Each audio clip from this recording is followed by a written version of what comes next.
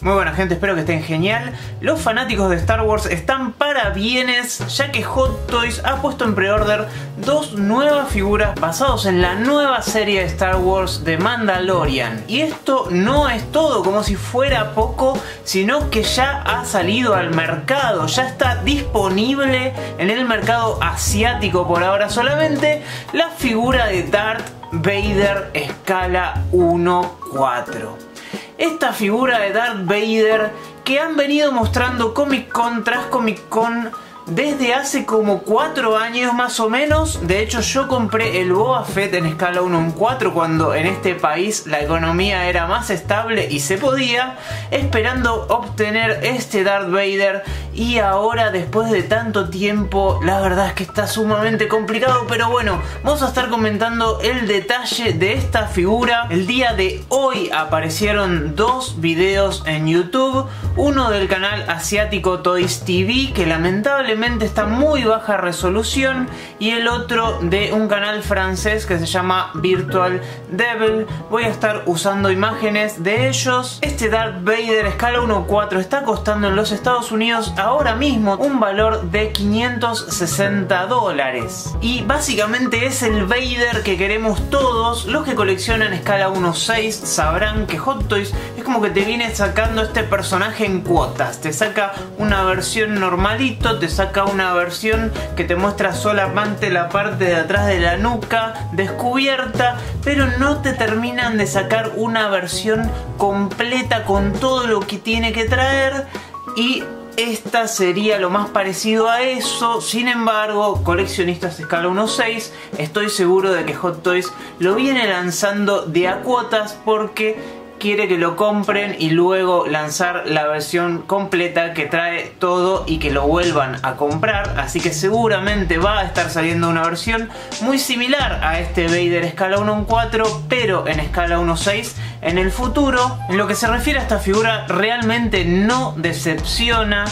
El esculpido del rostro sin casco realmente el parecido con el actor, el realismo, cómo se ve esa piel pútrida hace estremecer a todos los fanáticos de este personaje. Está muy muy genial, realmente creo que es hasta la fecha me animaría a decir el mejor esculpido de un Darth Vader coleccionable, tal vez comparable solo con el busto tamaño real que sacó Saillo hace unos años atrás y no sé hasta qué punto este se ve mejor. Nos viene además de eso con una cabeza con un casco removible a la cual se le puede ver la nuca toda esculpida al igual que su hermano menor que salió en escala 1.6 a este se le puede remover la máscara dejando ver a Slenderman. De repente tenemos una figura de Slenderman. No, nos viene con este esculpido de esta manera para poder dejarlo con diferentes opciones. Lo puedes poner con casco normal, lo puedes poner sin el casco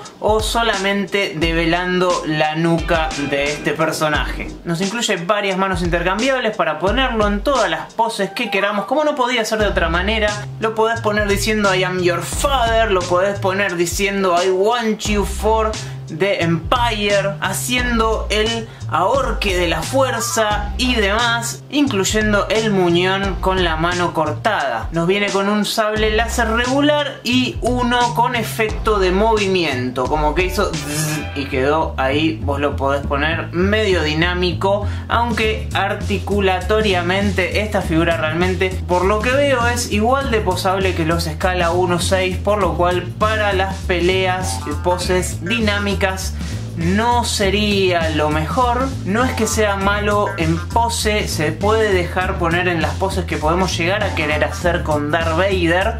Pero ya una pose espadeando por ahí, ahí se nos queda un poco corto. Y por cierto, el sable de luz regular viene con luz y no trae el sistema engorroso de que tenés que intercambiarle el antebrazo por completo, sino que pudieron incluir las luces dentro de el mango del sable. Y hablando de luces, esta figura es casi un arbolito de Navidad, nos viene con una base, la cual eh, a mí no soy tan fan de este diseño, no me gusta tanto que sea tan alta, ¿no? Es como que dijeron, bueno, tenemos esta opción de base y esta opción de base y no sabemos por cuál decidirnos, entonces ponemos una arriba de la otra y hacemos esta gigante y dónde la metes en la vitrina, es lo que yo me pregunto. Por suerte, pareciera ser que se pueden desprender y exhibir por separado si vos querés ponerlo en una base simple nada más lo podés hacer y no vas a tener este problema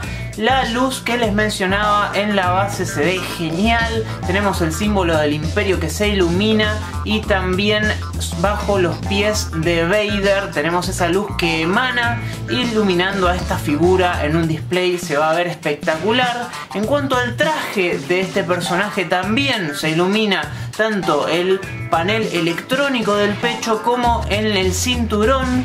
Lamentablemente todo con switch por separados. O sea, tenés un switch en el pecho, dos switch en el cinturón en cada costado, tenés switch en la base y la versión exclusiva nos viene con una basecita extra además para poner el casco en tu vitrina exhibido de esa manera con luz también se lo ve muy bueno lamentablemente les repito solo disponible en la versión exclusiva de esta figura ese añadido. Así que señores, esta figura es prácticamente un 10. Lo único que yo veo que incluyó una de las versiones en escala 1.6 y en esta no pusieron es el control remoto con las frases de la película. A mí realmente no se me hace tan necesario, pero lo quiero mencionar de todas maneras. Tenemos en este canal review de un par de Darth Vaders de Hot Toys que si quieren darse una vuelta los pueden buscar acá mismo. Lo único que me preocupa de esta figura es como siempre el material del traje ya que es simil cuerina.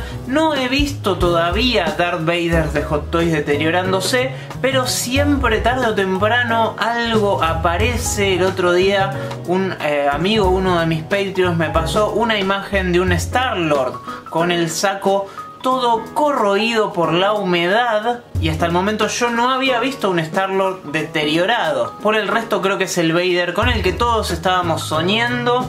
Yo estoy un poco triste realmente porque lo más seguro es que lo tengo que dejar pasar, pero vamos Vamos a ver, vamos a ver si se puede vender algo y comprar. Eh, vamos a ver qué se puede hacer al respecto a estas alturas. Para finalizar este video vamos a comentar las dos nuevas figuras que Joto ya puso en pre-order de The Mandalorian. Estas ya se vieron exhibidas en New York Comic Con. Estoy hablando de su protagonista y también del robot Caza Recompensas IG-11. Ambas figuras con fecha estimada de salida entre octubre y diciembre de 2020 en un valor de 243 dólares y 251 dólares el IG-11 en los Estados Unidos. La verdad es que ambas me parecen hermosas, son de esas figuras que vos decís no la necesito, pero me encantaría tenerla de todas maneras. No me importa si la serie va a estar buena o no. Shut up and take my money. Son figuras bastante simples. Nos viene con un blaster, un par de artilugios, manos intercambiables, una especie de lanza que me recuerda mucho a mí al diseño del primer Boba Fett, de la primera aparición en el dibujo animado. Supongo que estará basado en eso y una base stand que nos viene con un efecto de arena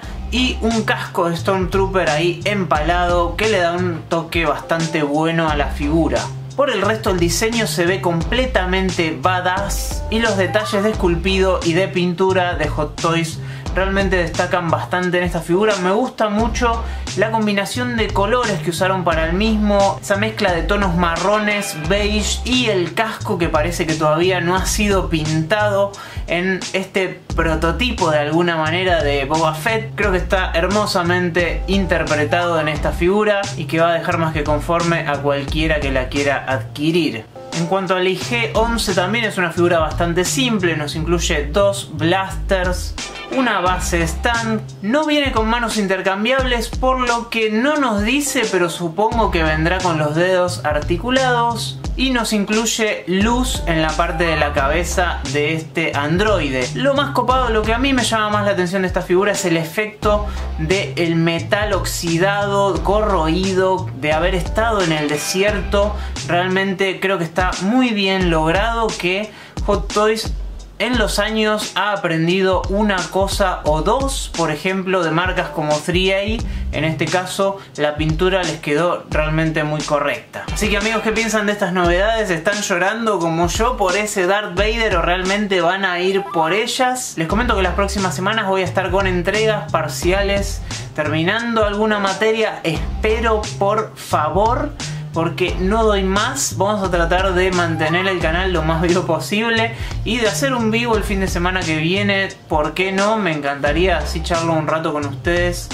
Una vez más, gente, muchísimas gracias por mirar, muchísimas gracias a los Patreons que siguen apoyando este contenido, muchísimas gracias a Kametoys que nos está auspiciando desde Chile. Si vos estás ahí, tenés al distribuidor oficial de Hot Toys y Sideshow en Chile podés contactar a Cametoys que tiene una tienda online hermosa para que vos puedas comprar de la manera más cómoda en Chile. Así que gente les mando un abrazo, no sin antes dejarle dos videos que tal vez no hayan visto y diciéndoles que si no se suscribieron yo no sé qué está pasando, qué estoy haciendo mal, por favor acá en este círculo hermoso lo pueden hacer, les mando un abrazo, espero seguir iluminándolos en su camino del coleccionismo.